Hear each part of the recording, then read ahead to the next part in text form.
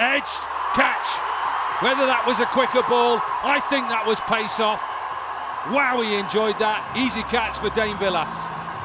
Dane Vilas, no pace on the delivery, did well to reach him. And you're right, I am watching. Smart bowling, the first delivery, Hyder Ali continued, throws everything at it, tries to get it up and over, but because there is no pace, doesn't get it past. Success of the first delivery. That's what they need to keep taking wickets. It's been an incredible start from the Zalmi, but now Hyder Ali is gone for 34. They're 90 for four. Watch this pace again. Is he going to pace on, pace off? In the air. Is he going to get away with it? It's gone high. He's not. He's caught one, Samit Patel. The end of uh, Mohsin. Yeah, it's actually the first ball that Mohsin's got a bat on. Samit Patel comes in quickly from long on.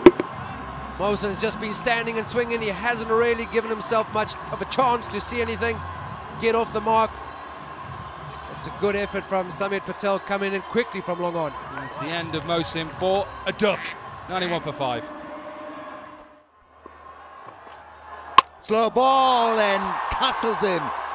Lovely piece of bowling from the right armour. No pace on the ball, kind of an off cutter and hitting the middle stump. Well, he's bowling nicely. He's got three wickets for only 10 runs. That's how well he is suited to these conditions and the manic nature of the batting out there. Rolls the fingers across, and it's a little bit tacky, the pitch tonight, so it grips slightly. And that's all she wrote. Gregory's gone for 16, 115 for 6. Didn't catch it properly. Shaheen Shah Afridi has taken a catch. Has he taken a catch? Best of this year's HBL PSL. This was one hell of a catch. Great try, running backwards, and he caught it. Magnificent catch. So uh, Peshawar finish with a total of 132.